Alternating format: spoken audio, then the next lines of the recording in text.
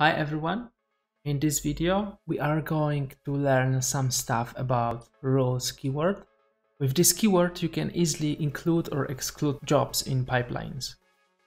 It's very important to remember that can't use both rules keyword and only except keywords. If you attempt to use both keywords in the same job, the linter returns an error.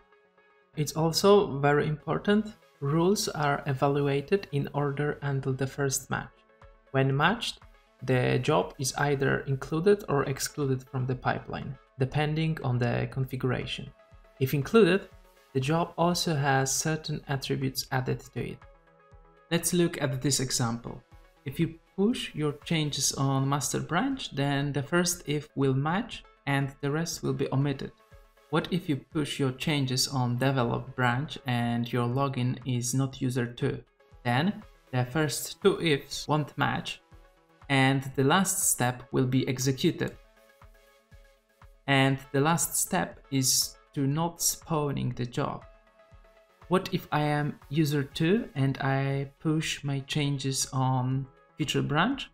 Then this if will be matched and this job will be spawned, but it will be a manual job and it can fail.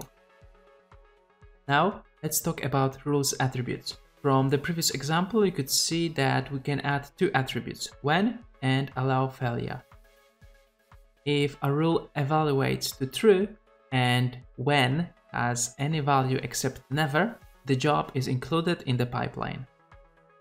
I showed you examples with ifs, but you can also use clauses, changes and exists.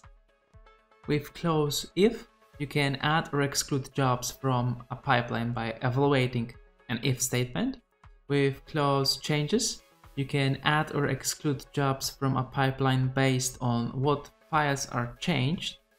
And with clause exists, you can Exclude jobs from a pipeline based on the presence of specific files. Let's see examples of these clauses. The first job, linter, by default we don't create a job.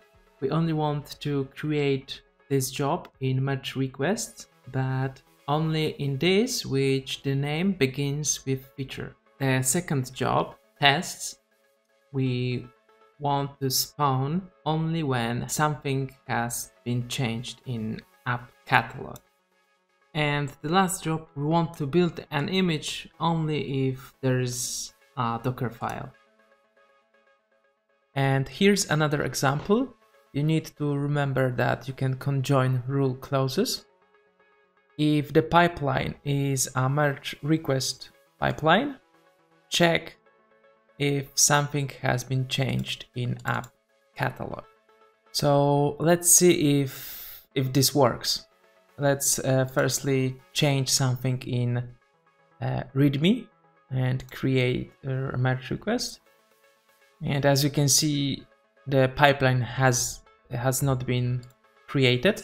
And now let's change something in app catalog. And here's our job. The job has been spawned. And that's it. It's a very basic video about rules keyword. I'm going to create more videos about GitLab. So if you want to know more about pipelines, please subscribe my channel. And thank you for watching and see you next time.